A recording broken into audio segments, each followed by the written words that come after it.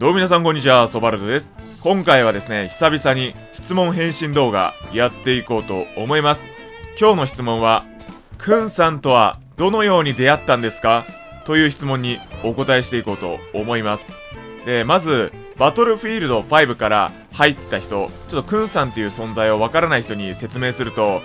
くんさんっていうのは、かくれんぼと人狼をやっているサングラスをかけたおじさんです。自分が最初にクンさんを知ったのが、要はバトルフィールド1をもうガチローって思った時ですね。で、その時になんか参考になる動画ないかなって調べてたら、クンさんのなんか FPS 講座とか、目の使い方とか、バトルフィールド4の大会の時どんな指示とかどんな動き方してたんだろうな、みたいなそういうのを参考にするために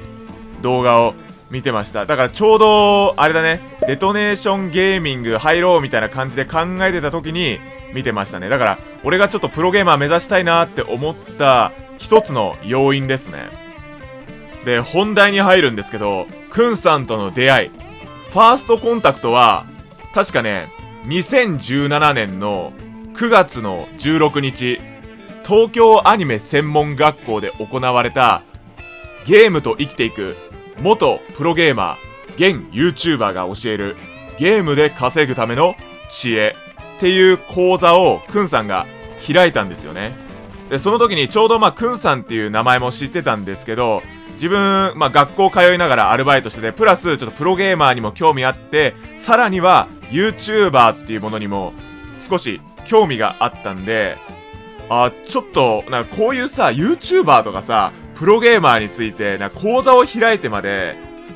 で説明してくれる人って、なかなかいないじゃないですか。俺調べた中では本当にいなくて、あ、珍しいな、まあ、いい勉強になるだろうって思って参加したんですよね。確かね、講座の内容は、プロゲーマーの給料についてのお話と、あと、なんだっけ？あれだ、あの、プロゲーマーがなぜ腕を組むのか、みたいな、なんかそういう話をしてましたね。あとは、まあ、現、現在 YouTube の環境どうなってるかとか、あと、プロゲーマーがどうなってるのか、まあ、給料体制も含めて、まあ、いろいろ活動とか、そういった面でも話してましたね。で、それで、な、最後に、くんさんとなんかツーショットとかなんか握手会みたいな、そういったイベントもあったんですよね。だからそれも参加させていただいて、まあ一緒にツーショットを撮ったんですよ。で、このツーショットを撮った時に俺言われたことが、おめえ身長でけえな。膝曲げろって言われたんですよ。で、俺ツーショットでさ、膝曲げろって言われたのは初めてだったんですよね。だから集合、集合写真とかだったら、膝曲げろとは言われることは多いんですけど、いや、ツーショットは初めてでしたね。一番覚えてる言葉がそれかな。あ、これで、くんさんとの出会い第一章は、カンですね。第一章、カン。で、まあ、それ以降別に何かしら変化があったっていうわけでもないんですよね。まあ、その後、まあ、友達と飯食いながら、講座すごかったね、楽しかったね、みたいな IQ2 ぐらいの会話してましたね。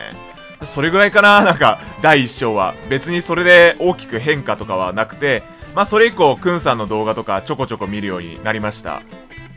さて、ではね、ここからなんですけど、ここからは最も自分の人生が大きく変わった話になると思うんですけど、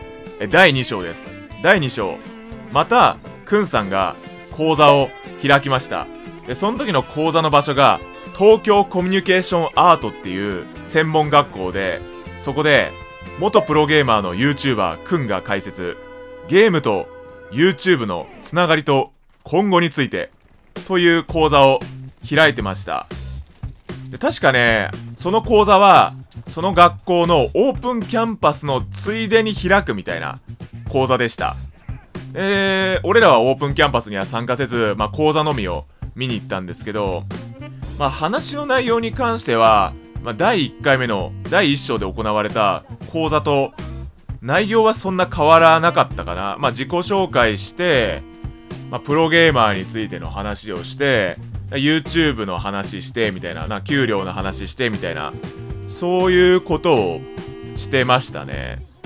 ただ、今までと違う点が一つだけあって、最後の最後に、動画編集者を募集しだしたんですよ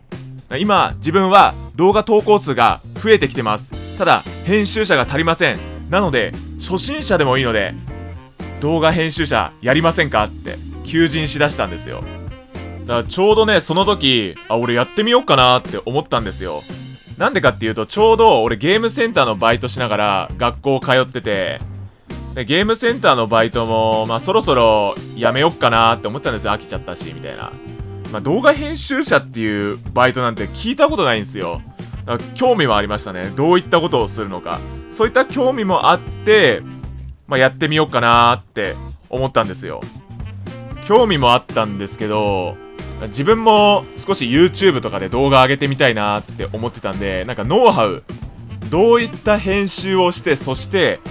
どういった動画の撮り方をしてどういった運営をしてるのかっていうのもすごい気になってたんですよ。だからそういう知識を得る場としてもできるかなって思って始めようって思いました。その時ね本当にゲーム実況者の動画編集って珍しい仕事だったんですよ。今は結構ねいろんなゲーム実況者の人たちが動画編集者募集してますみたいなことを求人してるんですけどその頃ね検索してもなかったね動画編集者募集してるゲーム実況者って。でくんさんが募集し始めて数ヶ月後ぐらいになんかいろんなゲーム実況者が募集し始めましたね。ある意味ではインフルエンサー始まりのくんだね。動画編集者っていうものがなんか始まった気がするわそこから。そして動画編集者を応募して2日ぐらいかな。2日目に DM が来て応募ありがとうって。とりあえずこの動画編集してってホワイトノイズのゲーム渡されたんですよ。ホワイトノイズっていうその人狼ゲームみたいなのがあってそれの編集任されたんですよ。で編集してもう本当にわからなくてとりあえずフリーソフトの AVI ユーティルっていう編集ソフトがあったんですけどもそれをとりあえずもうわからないなりに色々と調べてとりあえずこれこれこれみたいな感じで BGM 入れて効果音入れて確か1日ぐらいかな1日ぐらいで渡しましたね。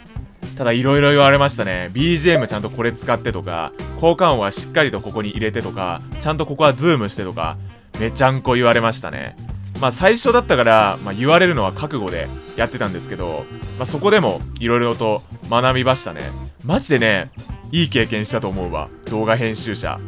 5日後ぐらいかな。DM でとりあえず合格ねみたいな こと言われて、まあ、合格しました。でその時がちょうどね2017年の12月ぐらいに12月の終わりぐらいに決定して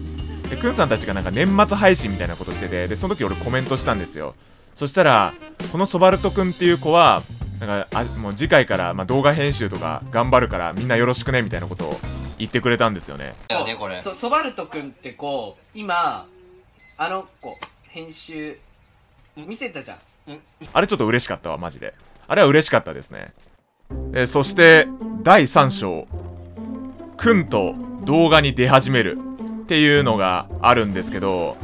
まあ、それに関してはもともとね PUBG っていうゲームがその頃超流行ってたんですよ。でくんさんがじゃあなんかカスタムサーバーできたし参加型すっかってことでキッズ参加型をし始めたんですよ。確かね俺最初に出たのがあのなんかキッズ最強を決めるみたいな。その動画自分も編集し自分が編集して、まあ、自分も参加したんですけど、まあ、その時は声なしで普通にプレイして遊んでたんですけどその頃からかなな呼ばれるようになったら。その PUBG 参加型企画やった後日にシグマジャパンパケットくん俺で呼ばれて一緒にやろうぜみたいなことでやり始めたんですよ。でそれ以降もたまに呼ばれることがあって BF5 始まって BF5 でもちょこちょこ呼ばれるようになってアトラスとかでも呼ばれるようになっていつの間にかこうなってました。なんかいつの間にか一緒にやるようになってました。そしてサブで続けてた、まあ、BF も伸びてでその動画編集で学んだノウハウを使ったりして今に至るって感じですかね。だ本当にね感謝しかないわ。いろいろと振り返ってみると。講座に連れてってくれたリア友にも感謝だしくんさんにも感謝。くんさんの周りの人か人たちにも本当に感謝だしリスナーさんにも感謝なんかほんとね感謝しきれないわ感謝が多すぎて。だからこれから、まだね、終わってないんですよ。まだ、第4章があるんですよ。第4章はまだ続いてるんですよ。だからこれからも皆さん、よろしくお願いします。一緒にね、第4章を築いていきましょう。そして、素晴らしい完結の仕方をしましょう。これからも続けていきます。ということで、くんさんとの出会いでした。お疲れ様でした。GG ありがとうございました。